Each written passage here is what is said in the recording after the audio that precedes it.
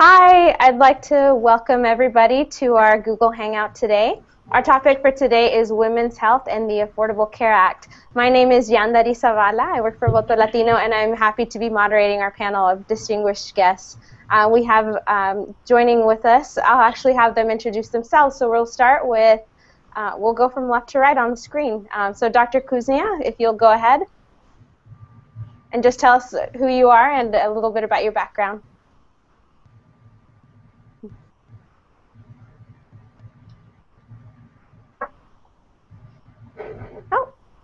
Okay, I'll I'll enter.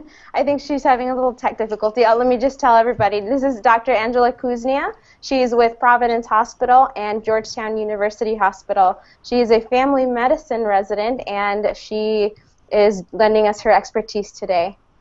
Hello. Sorry, I think I had my mute on. Oh, not a problem. okay, so we'll move on to Kimberly. Hi. Vanessa. Hi, I'm Vanessa Gonzalez Plumhoff, and I am Director of Latino Engagement and Leadership here at Planned Parenthood Federation of America. Wonderful, thank you. We're going to have one additional panelist joining us in a couple of minutes. Uh, her name is Dr. Diana Ramos, and she'll be joining us. Um, she's the vice chair of the Latino Physicians Association of California. She's been practicing as an obstetrician and gynecologist for 20 years, and we'll be excited to have her join us in a couple of minutes. Um, for now, let's just start out with our questions. Uh, thank you so much to everyone who texted and uh, sent questions on social media to us. Uh, you are the ones providing the content for this panel, and we hope that we can give you the answers that you're looking for. So just a little bit of background. Number one, what is the Affordable Care Act? And if our panelists can take it away. Sure. Um, so the Affordable Care Act is a legislation by the federal government that says that all Americans should be able to access health insurance. Um, or else they might have to pay a fee if they don't have health insurance. Uh, one of the first provisions of the Affordable Care Act that is especially um, changing in the insurance market is that young people can stay insurance health plans until age 26. It used to be sometimes 21, sometimes 18, really depending on the insurance company. And so now it is standard across all insurances that young people up to age 26 should be allowed to stay on their parents' coverage. Um, it also, the Affordable Care Act, includes financial assistance provisions for a number of people, including an expansion of the Medicaid system. Perfect. Thank you so much. Um, so that's just a little bit of basic information about what the law is. Um, so second question, what services are covered without a copay under the Affordable Care Act? So for us, the women's preventative services are covered, and that includes things like birth control, annual exams, STI testing, um, even gestational diabetes um, testing, as well as things for um, breastfeeding supplies and interpersonal violence screenings, which I think is really important that everyone understands. There's a lot of good services that are now available without a copay. That's just some of them. Right. Um, no, those are all really important things. Thank you so much. Um, so the next question we have, do this was submitted by someone who is currently on Medicaid and wants to know, do I have to fill out any paperwork if I'm already on Medicaid?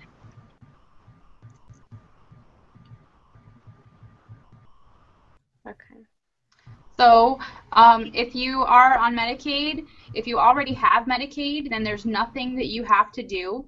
Um, if you aren't already receiving services from Medicaid, you may be entitled to services from Medicaid because Medicaid is expanding, and you would just have to fill out regular paperwork for Medicaid. There's nothing additional to do for the ACA. Thank you so much, Dr. Kuznia. Um, number four, is uh, one of the most important questions about this law. How do I sign up and when is the deadline?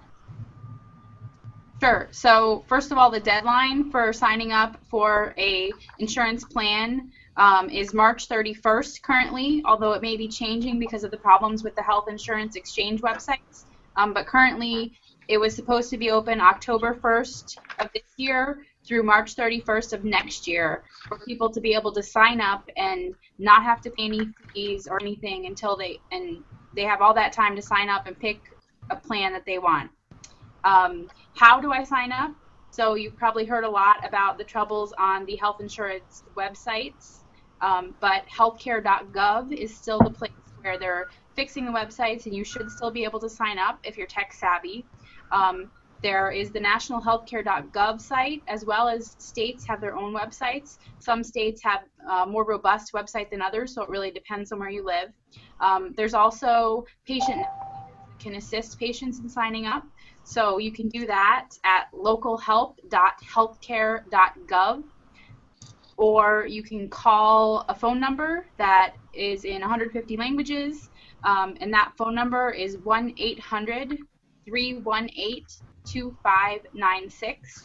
We're also going to be posting all of this information, so if you catch it now, we'll send it to you. Um, and you can also even sign up by mail. So if you have access to a computer, if you have access to a phone, if you have access to a healthcare provider, they might be able to help you get hooked up with a person who's a navigator, or you can also sign up by mail. And again, the period in which we're supposed to sign up is between October 1st of this year and March 31st of 2014. Uh, thank you so much, Doctor. Um, I just want to reemphasize the point that she made that the healthcare.gov website, while it has been having some troubles, is not the only way for folks to be able to enroll. The phone number that she gave actually is open 24 hours a day, and as she mentioned, is available in 150 languages. So um, if you or your family or or friends or anyone that you know um, needs help in whatever language it could be, because it's uh, so important for folks to have this information, it's 1 800 318 2596. And as Dr. Kuznia said, we'll provide this information um, as well. This, uh, this hangout right now will be posted afterwards as a YouTube video, and you'll be able to click right from this video um, to that. Stay tuned for that. Um, our next question came from um, one of our audience members who's concerned about, um, about their parents. So the question is, my parents currently pay too much for health insurance. How can they determine whether they're eligible for cheaper health insurance? Vanessa, can you give us a little sure. help with that one? sure. So there's a couple of different ways. If you go to websites, there's um, cost calculators that allows you to input all of the um, household information, including your annual income, the size of your um, family. Also, for some, you may have to think about if you have if you are a smoker um, your age, those types of things. Now, that's not to say um, one of the key aspects of this law is that you cannot be denied for pre-existing conditions. So keep that in mind. But under the cost calculator, um, I know Planned Parenthood on our website, we have it at PlannedParenthoodHealthInsurance.org. You can log on there, and it's pretty simple to enter that information in and get an estimate of the cost. Um, the other thing is that you can also um, when you go to navigators, when you call the um, 1-800 line, you can also provide some very basic information and they can provide you additional um, guidance. I think it's important though to keep in mind that these are estimates and so you may not be receiving the exact cost. That's why it's important that you also know what your parameters are and how much you can afford for insurance and make sure that you're asking the questions um, to get what you really need for coverage. So there's a, a, there's many important things that I think um, go into what this cost is going to be. But obviously, um, if one of the main concerns is just you know paying that monthly bill, there are people who can help you and online as well. Thank you so much. Um, would you mind just saying that website one more time for that cost calculator? Sure. Well, for ours in particular, you can go to uh, Planned Parenthood Health Insurance Facts.org for English. You can also go to um, PlannedParenthoodAsegurate.org for Spanish language. And we have the cost calculator on both websites. Great, thank you. And in addition, I know if you go when you go to healthcare.gov, uh, there's before you even start enrolling for anything, you can get estimates on there as well. So that's another resource. Um, thank you so much. Um, our next question: Can individuals who qualify for deferred action or DACA get health insurance under the new regulation, regulations. Uh, Kimberly, can you help us with that one? Sure. So the DACA program was a really, really great opportunity for young people to gain a kind of lawful status and, and, be able to stay in this country without fear of deportation. Unfortunately, one of the restrictions of DACA was that for the purposes of health care, DACA qualified folks are not considered lawfully present. So they're excluded from the health exchanges, they're excluded from Medicaid. Obviously, this is a huge problem because if you're lawful for the purposes of working and going to school, you should be lawful for the purposes of getting health care. Um, so this is an unfortunate limitation of DACA. It's something a lot of us have been working to change. Um, and it also has implications for mixed status families. I think one of the important pieces to know about the Affordable Care Act is while it does a lot of good things for folks who are um, citizens and for some people who are lawfully present, um, insurance online won't be used uh, for any purpose besides health insurance. It won't be used um, for any immigration procedures or anything else. So it's um, it's something that families should know about so that they can feel safe in, in enrolling for health insurance through these websites. Um, thank you so much, Kimberly, for that. Uh, okay, our next question. Um, time before the ACA, women paid more for health insurance across the board. It was basically gender discrimination. And so that is now over. Being a woman is no longer a pre existing condition. So that's a huge deal. We're very excited about that. Um, the other piece that's really important is in terms of those specific kinds of preventive care that are now going to be covered without copay. So Vanessa mentioned um, intimate partner violence screening and counseling, which is so important. Um, well woman visits, so that's an annual exam. Um, screening for gestational diabetes, really important for the health of pregnant women. Um, HPV testing, counseling for STIs, for sexually transmitted diseases, um, counseling and screening for HIV, which is really important, we know, for our Latino population where we have elevated incidence of HIV, um, as well as contraception, FDA approved prescription contraception, breastfeeding support supplies, and counseling. Um, and so as a package, what we see is, you know, whether a woman is trying to prevent pregnancy, whether a woman is trying to care for her pregnancy, or whether she's trying to care for her own sexual and reproductive health, that all of these measures help her be healthier and help her family be healthier. Perfect. Thank you so much. That's um, that was so comprehensive. Um, those are really important benefits. Um, are, and these things, uh, and maybe Dr. Kuznia can help us with that. These benefits are these all things that we need to, when we as women go to our our exams, that we need to be making sure that we're screened for, or are they things that are going to automatically uh, be taken into account? Things like the domestic violence screening and and those other features. Sure. So most of the or pretty much all of these recommendations we have discussed already, your provider is already aware of that and will be asking you those questions in general at a well woman exam, which is what we consider to be an, a reproductive health exam for women of childbearing age, and so all those things should already be included. If you have specific questions, of course, that is the time to ask them. Um, and you know, they might not ask you in person. They might also, depending on the provider, they might have a questionnaire or something that you fill out. So they are supposed to be asking you about all of these things, but they may spend a different amount of time talking with you specifically about which ones might apply to your situation most. Great. Thank you so much for that. Um, our next question, just building up on the previous one, what preventive services does the ACA cover, and how will the level of coverage change for women as a result of the law? Sure. So I think Kimberly already mentioned some of the preventive services, but when we talk about health care, there are aspects of care that are to keep you healthy and prevent health prevent illness conditions, and there are things about health to treat any conditions you have. So the prevention side of things, that is what we do screenings for for breast cancer, doing mammograms.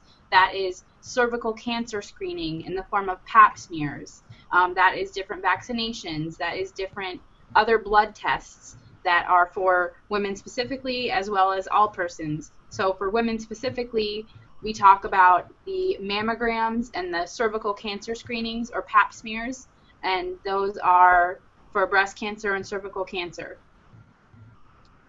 Can you tell um, a little bit more about what that is for maybe anyone listening who's never had a, a mammogram or no, doesn't know what that is and what a pap smear is?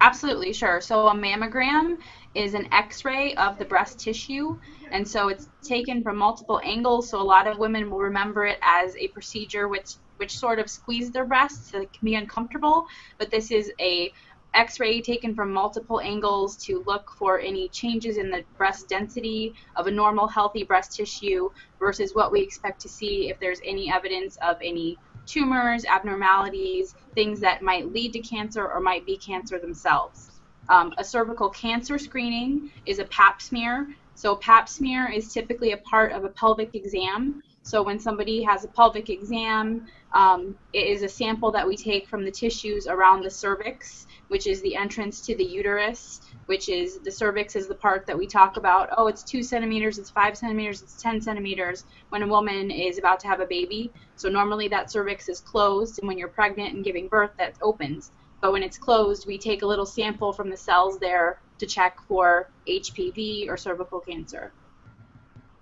Wow. And just a quick comment on the um, on the Pap smears. This is really important for Latinas because we have the highest incidence of cervical cancer of any population, and so it's really important that we're getting that care. Um, because while on the one hand, a lot of Latinas are getting are getting sick and they're struggling with cervical cancer, this is a disease that is treatable and preventable. Okay. Thank you so much um, for that, and thank you, Dr. Kuznia, for being so thorough about that. Um, it's something really important. And for anyone who's watching, um, if you are a woman or if you're not a woman, know uh, someone in your family that you care about. Um, pass this information on. It's it could save people's lives. Um, our next question. Um, so we mentioned a little bit about um, uh, screenings for cervical cancer. The next question is, does the ACA cover the HPV vaccine? Vanessa? Sorry, I see a bunch of smiles. It's great. Um, so yes, the ACA does cover the HPV vaccine. Um, it's again part of the preventive care, right? So if you can get the HPV vaccine, then you can be vaccinated um, against certain strains that may cause cervical cancer. I mean, there's, and the doctor can speak more to this, but there's numerous, numerous, numerous strains of HPV, and some of those um, may lead to cervical cancer and some may not, which is, to Kimberly's point, really important that women really go in and get screened, especially now under ACA, that pap smears and other blood tests are without charge. Um, and I should have probably said this before, I'm sorry, but HPV stands for human papillomavirus, which, as Vanessa mentioned, uh, there can be numerous strains, and that's uh, the virus that can cause cervical cancer. So um, this is one of the services that's included under the Affordable Care Act. It's important to to know that we can take advantage of these things.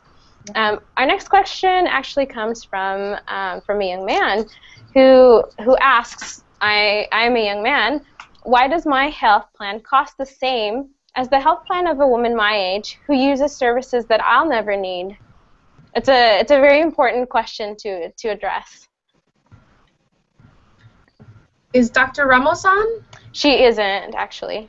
Okay, um, so I can jump in here. So the first thing I would say to our young men is um, sexual and reproductive health is also an issue that you face, and many of these um, preventive measures will also help young men.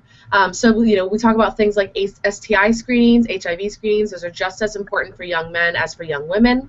Um, I'm glad that Vanessa mentioned the HPV vaccine because actually young men should and can also get the HPV vaccine, um, not because they'll get cervical cancer, but because it will prevent HPV, which is good for them, and it will prevent them from passing HPV to their partners, which is really good for those women that they're having sex with. So everybody wins.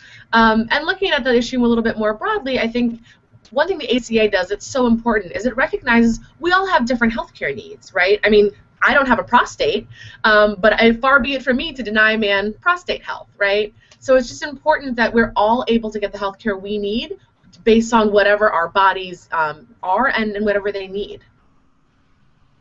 Thanks so much, Kimberly. Um, Dr. Ramos, I see that you're on with us. Welcome. Okay, maybe she can't hear us just yet, um, but we appreciate her being on with us anyway.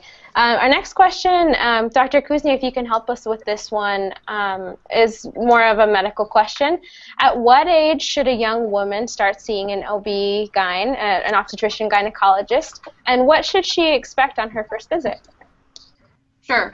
Um, so we're talking about women having women-specific health exams. So that can be, I just want to clarify, it can be from an obstetrician gynecologist, it can be from a family medicine physician, it can be from an internal medicine physician, or it can be from a number of other providers, PAs, nurse practitioners, or physician assistants who can all provide primary care for women.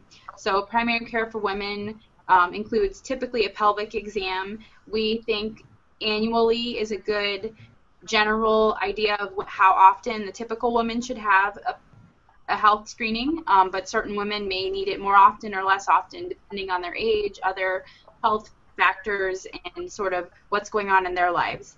Um, so, when should a woman start seeing one of these primary health care providers? Um, typically, we would like to see a woman uh, once she reaches reproductive age. So once she starts having periods, when she starts um, thinking about contraception, becoming sexually active, or even if she's not sexually active, just so that she's talking to a doctor, knows um, whether how her body is functioning is normal or abnormal, and can get advice on those types of things. Um, then the other question is what should a woman expect at that first visit?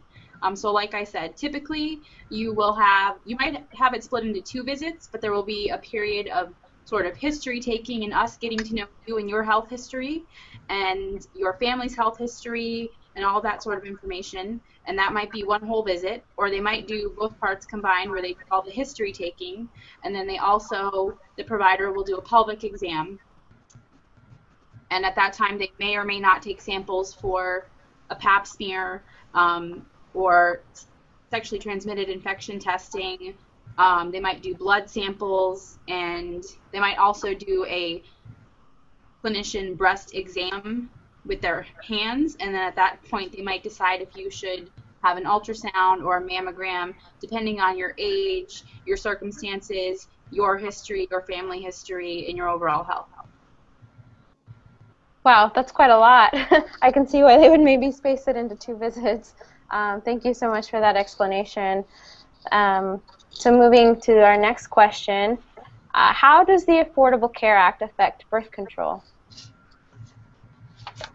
So I'll, I'll take this one.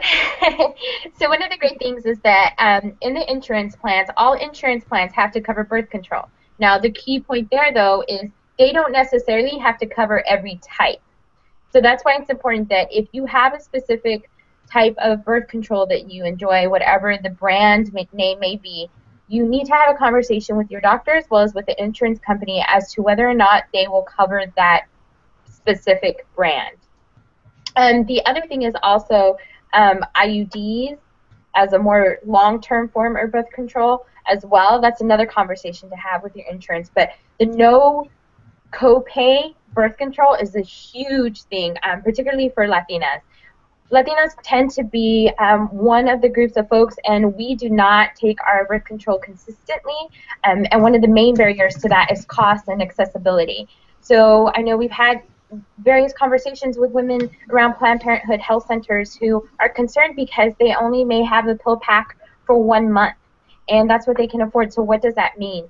So it's great that the ACA now takes some of that concern in terms of the financial cost off. Um, obviously we still have some issues regarding accessibility. But again, that's an important conversation to have with your insurance company as well as your doctor if there is a particular brand that you really enjoy having. Um, Vanessa, you mentioned an acronym, IUD. Can you explain what that is for anyone who might not be familiar with that? sure. Um, it's an intrauterine device, and what it is, you may see this, and folks should, you know, again, talk to their physician about it, but it's a little bit of a T type um, device that goes into the uterus. And please, doctors, correct me if I am incorrect in describing this. But it goes into the uterus and it acts as more of a long term form of birth control. And there are two types. There's some that um, release med- medicine, essentially medicated prescription, and there's others that are copper IUDs. And those are inserted um, by a physician. Um, you know, again, it's an important conversation to have. And they can also be removed, but it's a longer form of long-term family planning. And just to expand a little bit about some of the birth control options, Um, so Vanessa mentioned the IUD. Um, some of the other birth control options that are generally that are available without copay, though you might have to, you know, you might not be your exact brand. So we're talking about birth control pills, the pills you take every day, the birth control patch, the patch that you actually put on your skin, and it releases birth control uh, medication that way as well as the vaginal ring. So the Nuva ring you probably heard, and it's like a circular ring that fits inside the vagina and also releases birth control medication. So generally speaking, those are the kinds of birth control that are available without copay. Um, other kinds of birth control that are really important tools in our toolbox but aren't covered are things like condoms and emergency contraception. Right. Things that we would call like over-the-counter birth control. So you can go to, you know, like your CVS or your 7-Eleven and get a box of condoms.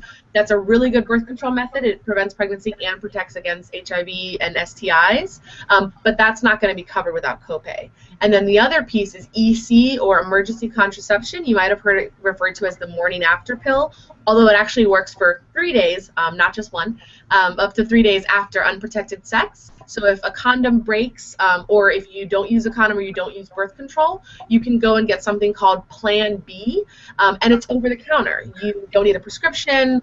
Um, you just can go to the, the you know maybe the supermarket or the, the, um, the pharmacy and ask for Plan B. So really good methods, but you will have to pay out of pocket. Thank you for, for adding that, Kimberly. That was actually our next question. Our question was, what contraception options are not covered by the Affordable Care Act? Um, are there any others that you know about that haven't been mentioned already from, to any of our panelists?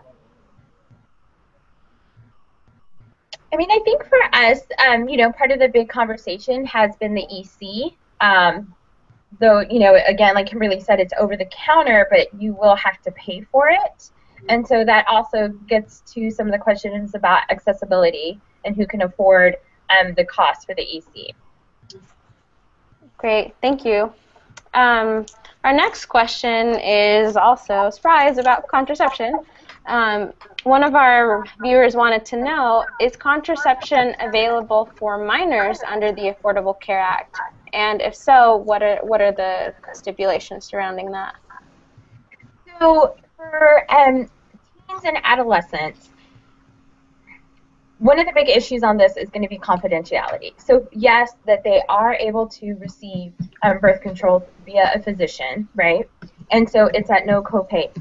But what the insurance companies may do is, and I'm sure many of you have seen this, is sometimes you will get a notice for the insurance company about um, the coverage that they just provided. So it typically has like a little line at the top that says this is not a bill but it'll tell what they covered and what the cost was that they covered.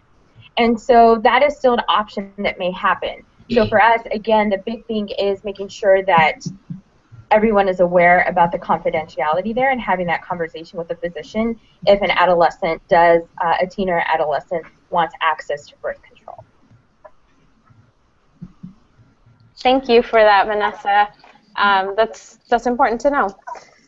The next question, we're moving on a little bit to a different aspect of women's health. Um, does the Affordable Care Act include coverage for pregnancy and prenatal care? What exactly will it include? And what about postnatal care? If our doctors could help us out with that one. Sure.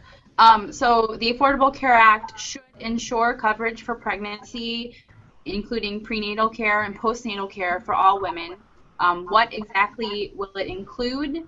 So there are um, statements by the United States Preventive Services Task Force of what are standard screenings, such as the gestational diabetes screening, sexually transmitted infections, screenings for anemia. So all of these things that help keep pregnant women and the fetuses healthy, those are included in a standard of care that physicians as a whole around the United States believe these are the safe things we should do for women, and all of those things should be included in all prenatal care and in prenatal care that is covered by the Affordable Care Act. In terms of postnatal care, that typically includes at least one visit, depending on if a woman has had a cesarean section or a vaginal birth. Um, it depends on the timing, but at least one visit after the pregnancy should be covered. Great, thank you for that. Um, going along with uh, the topic of pregnancy, one of our user, our audience members wants to know: Will maternity copays be covered under the Affordable Care Act?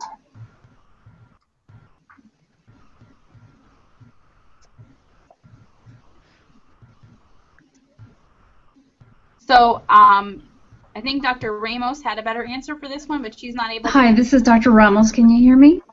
Yep. Oh, welcome, Dr. Ah, Ramos. okay, Dr. Ramos, um, this question was actually uh, addressed to you, and the question is: Will maternity copays be covered under the Affordable Care Act?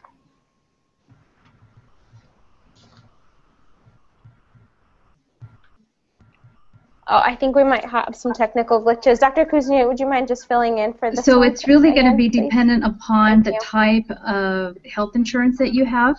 It will, uh, the copay may or may not be covered. So that really depends upon the deductible under the health plan that's selected under the health exchanges.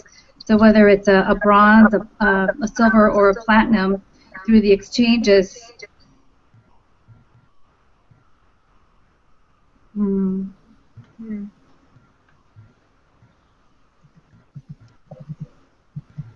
Okay, we're having a little technical difficulty. So like Dr. Ramos, it really depends on health insurance. Yeah, can you hear me? Dr. Ramos, can you hear us? Can you hear me? Yeah, we can hear you.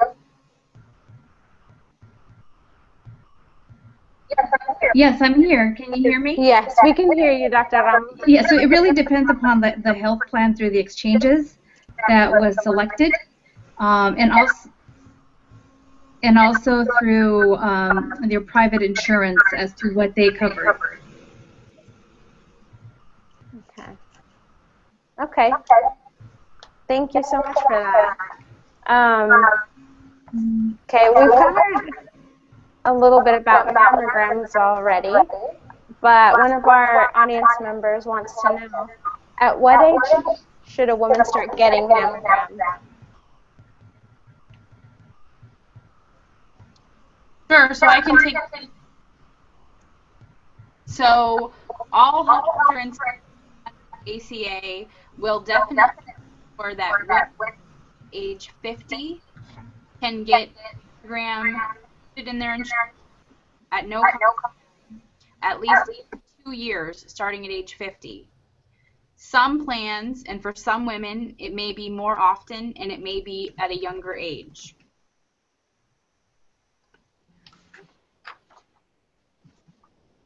Okay. Sorry, I think I'm having a little delay on my end. Um, thank you, Dr. Kuznia. Um, the follow-up question ties into that actually. So you mentioned the you know the age at which it's recommended to get a mammogram, um, but one of our uh, our female audience members asked, will all plans include breast exams and mammograms? And if so, starting at what age, which you've already covered. Um, but she wants to know as well, will women under 30 be allowed to have mammograms at no additional cost? I know that I've heard at least that there are a few stipulations surrounding that. If you could tell us a little bit more about that, um, and then the difference between a breast exam and, and a mammogram um, as far as age, uh, that'd be great. Thanks. Sure. Um, so the question specifically about getting a mammogram at a younger age, so I mentioned Yes. starting at age 50, it's always covered, and prior to that may be covered depending on the woman's own health history and if she's had breast cancer or they've found abnormalities on like ultrasounds before. And of course, if she has a family history of breast cancer, she may need to start getting mammograms sooner. So it's very dependent on that, that person's exact circumstances. In general, no, not all 30 year old women are going to have to have mammograms because we just know that it will be a waste of their time and will actually do more harm than good because we'll investigate things that aren't cancer. But for certain women, they will be entitled to get mammograms included in their insurance. And that actually shouldn't change because of the ACA. That's something that should have already been happening.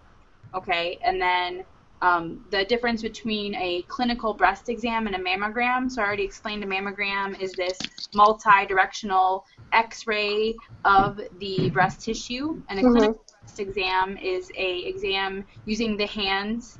Uh, where a physician or a provider is feeling for any abnormal lumps or bumps in the breast tissue, because as we all know, some lumps and bumps are very normal, and we as lay people might not know what is normal or not. Mhm. Great. So I know we've talked a lot about different kinds of pregnancy related care, like prenatal care and postnatal care. And another kind of pregnancy related care um, that we want to talk about is also abortion services. So we know that, that particularly in the, in the Latina community, um, but generally for all women, one in three women will need an abortion in her lifetime. Um, and the ACA there's good news, good news and bad news in terms of access to abortion. Um, so unfortunately, the ACA leaves in place the Hyde Amendment, which means that women who are on Medicaid, um, generally speaking, will not have a coverage for abortion services unless they live in a state that is making sure that that coverage is available using state funds. So you have to basically you're one of the 15 states that provide that. Um, nationally, unfortunately, that coverage is withheld. Um, it's all similarly true with the exchanges. So the healthcare exchanges, which are the private markets where people can buy insurance for themselves. Um, in many of the exchanges, there are plans available that provide coverage for abortion. Um, unfortunately, in some states, there have actually been laws that ban coverage for abortion in the exchanges, and this is going to make it really hard for those women to get the coverage that they need.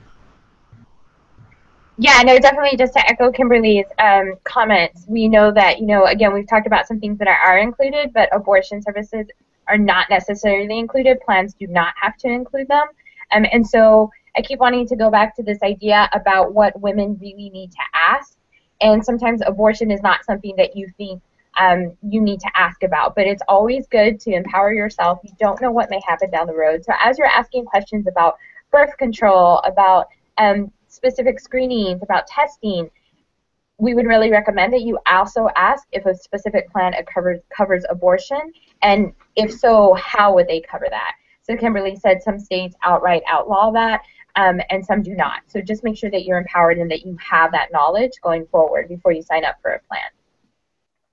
Thank you so much, ladies, for those answers. Um, our next question um, is dealing with the topic that's a little bit more sensitive. We mentioned in a previous question some of the new features of the Affordable Care Act, and among them is domestic violence screenings. Um, and so our question is, how will the Affordable Care Act impact victims of domestic violence?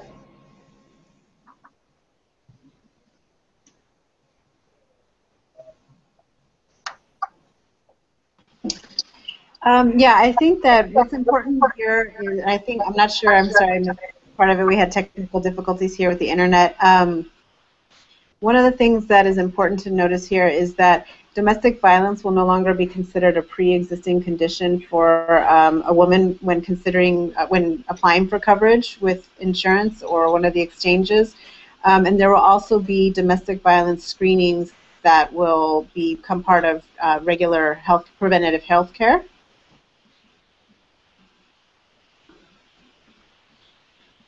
Um, just to build on that, one other way that um, survivors of, of, violence also benefit from the ACA is we just know, generally speaking, that when women are experiencing violence, when they're in an abusive relationship, um, contact with a healthcare provider of any kind can be really transformative.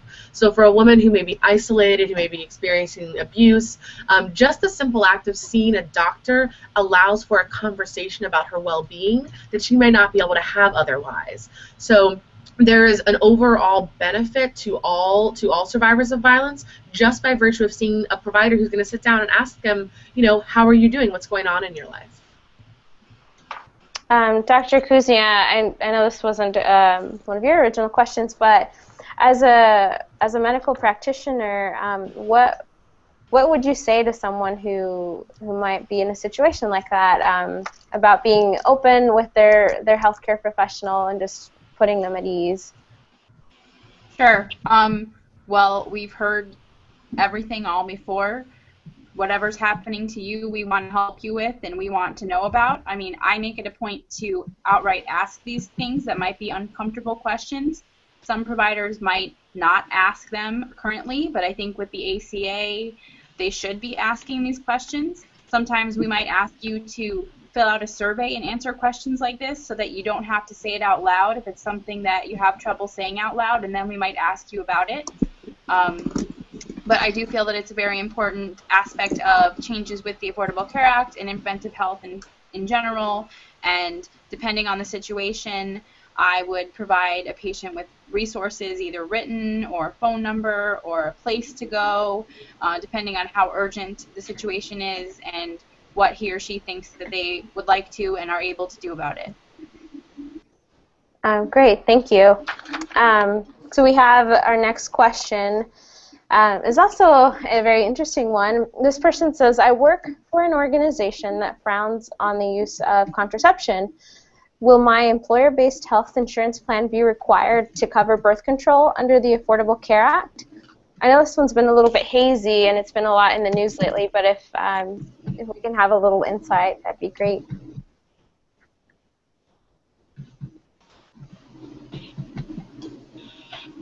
So there was a ruling last week, I believe, on this. Um, and while originally, um, and I, am some of you folks can help me out with this one if I get it correct. Um, originally, the religious-based employers were not going to be exempted from the birth control mandate to cover birth control the insurance in, insurance um, coverage.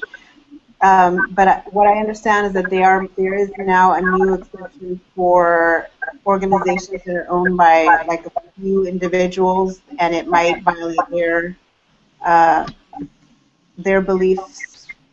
So, so there is a, a minor exemption, I think, and I, I think I will need help fleshing that out a little bit. Okay. Uh, I want to piggyback on that as a part of the Care Act, the goal is to make more insurance options available to all persons. So if somebody is in a situation like that, where their insurance does not cover something they feel they need, then exactly the type of person who can go on the exchanges and get different private plans and be able to talk with their employer to work that out so that the money their employer was paying for their health insurance might be reimbursed in a different way so that they can get a different health insurance plan. Okay, um, that I think cut out a little bit. So uh, for anyone who may not have heard, I'll just repeat what Dr. Kuznia is saying. She mentioned that um, if anyone finds him or herself in a situation where their employer doesn't cover some of these services, there may be an option on the online exchanges um, to find the coverage that you're lacking and possibly even to find a way to be reimbursed for the coverage that your current health plan doesn't provide. So thank you so much. Just to add to that, as you're going through the process, um, particularly on um, healthcare.gov, that's one of the questions that you're asked as to whether or not you qualify for coverage through your insurer. So if you do, then you can say yes. That doesn't mean that you're going to be stopped, that you don't get to go any further in looking at different plans. So you just want to note that if you are um, working in a religious institution or another institution that has stated their intention that they prefer not to provide, or as a religious institution that they will not be providing, um, and you decide to go ahead and shop on the marketplace, don't be alarmed that that's one of the questions. It doesn't mean that you're excluded, but it does mean that you may have some extra steps to go through. Great. Thank you so much for making that clarification. Um, so we've come now to our, our last question, and I'll leave it open to each one of our panelists to make closing comments. What would be the most important takeaway that you would tell our audience from this hangout with regard to, to their health, um, women's health, the Affordable Care Act? Um, I'll go first. That's a that's a big question. There's so many things. Um, I think overall, it's really important that women feel empowered to make decisions for their own health care. Oftentimes, as Latinas, we take care of the rest of the family before we will take care of ourselves, and we will send everyone else to the doctor before we will go. And so, the Affordable Care Act is really an opportunity to take care of yourself um, through the websites. Which again, it's it's a website. It's not the law itself so right now with all the glitches um, in English and Spanish, there's still other options as were mentioned. So make sure that um, you find that avenue that works best for you to get the information and make sure that you ask your insurer what they do cover because you do have rights under this law that you need to feel comfortable asking and feel empowered to ask to make sure that you're getting the best care possible for yourself as well as your family. The other key point, sorry, the other one point that I want to make, if you are in a mixed status family, it's really important um, to fight back against some of those um, that misinformation that is out there. The information will not be used um, for ICE. There is no immigration status that will change because of information that you provided. Um, through to get health care, you should still look to sign up other members of your families that do qualify, your children, your grandchildren. Um, this is really important, so we're really pushing that people do that. And if you have any questions, please feel free to visit Planned Parenthood Health Insurance Facts.org in English or Planned Parenthood Asegurate.org in Spanish. Thanks, Vanessa. Sure. So we'll go down the line. Laura, closing comments?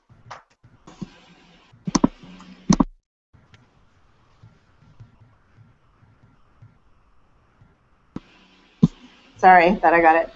Um, I think what's important for me as as a woman, as a mother, and someone who's um, taking care of the the healthcare decisions for my own family, is to just have all of the the accurate information. And I think there, you know, there are a number of organizations that are represented on the call. We're all um, capable of giving good information, um, especially. Um, we, we do work in different states, and so we can provide information based on state. Um, I think that as well, what's important for folks to know is even though that the healthcare.gov um, site is not working, for example, here in California, you can um, get on the California State Exchange uh, website and get information there. Uh, and that's uh, so CLRJ, California Latinas for Reproductive Justice, will also be doing ACA um, community forums throughout California. We, we started those earlier this year, and we'll be looking to continue them. So you can visit our website to find out if there's more, uh, if there's one coming near you. Thanks. Thank you so much. Um, we really appreciate having having your expertise on us in spite of the technical difficulties. Um, Kimberly, if you'll if you'll give your closing comments. Sure. Um, so I think the biggest message that I would leave people with is that this law, um, you know, for for those of you who are, are eligible for the benefits, this law is a real opportunity to take control of your sexual and reproductive health. So, you know, looking at whether you want to prevent and plan pregnancy with the use of contraception, whether you want to protect yourself and your partner by getting screened for HIV, for STIs, um, secure your long-term health by getting cancer screenings. This is an opportunity to, for you to put your health in your own hands and to do so without being um, without being restricted because you can't afford it. Um, because that's what this is really about, right? The, the amount of money in your pocket shouldn't determine what kind of health care you get.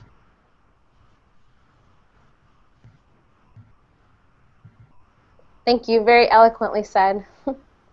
uh, Dr. Kuznia? Sure. Um, so, as a healthcare provider, I feel like the Affordable Care Act changes really put an emphasis on the preventive services that we can provide. So, I don't, I don't want to just see people when they're sick. I want to keep them well. And so, to keep people well, I need you to come and see me when you are feeling fine and great and healthy. And that's when we'll do those well woman exams. We'll do the screenings. When you come in and you're sick, I can't do all the well stuff as well as the sick stuff. So the Affordable Care Act should provide you with um, the decreased copays, more coverage so that you can feel comfortable getting all of these services and not have to worry about the cost.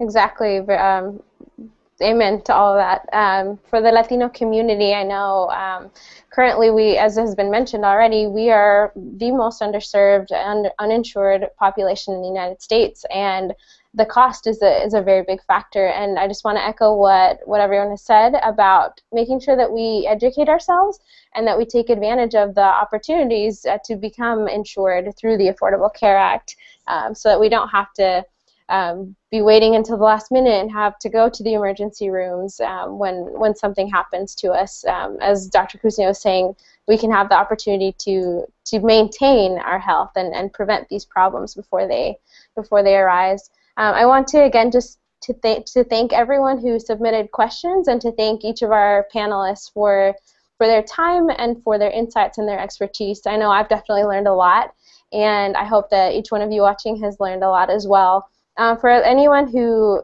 who wanted to, you know, if you're sitting there thinking, man, I wish my, my mom or my sister or my friend were watching this with me, uh, the good news is that this video will be available on YouTube shortly, and so after the hangout is over, you can still forward that link, and anyone who didn't get the chance to watch live will still be able to participate in that way.